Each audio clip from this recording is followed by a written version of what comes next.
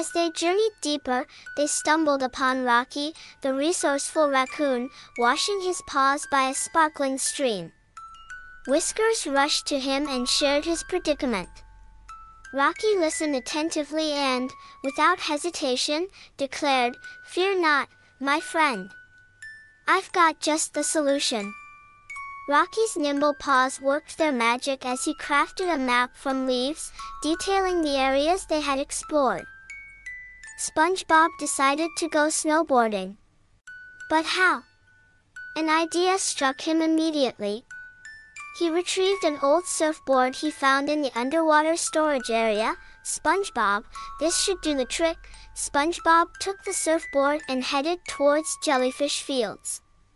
As he slid on the snow, he sang cheerfully, SpongeBob, snowflakes are doing fun dances, oh ho ho. After a while, Sandy Cheeks noticed this cheerful scene and joined SpongeBob. Sandy, hey SpongeBob, what are you doing here?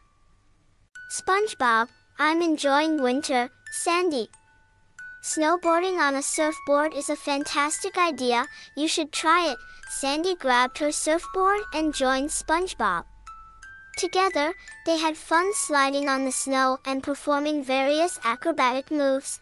Meanwhile, Squidward, watching from his window, observed what they were doing. Initially annoyed, he couldn't help but smile as he saw how much fun SpongeBob and Sandy were having. Squidward, maybe I want to enjoy winter too. Alright, count me in. And Squidward decided to join in. The three of them spend an unforgettable winter day together in Bikini Bottom.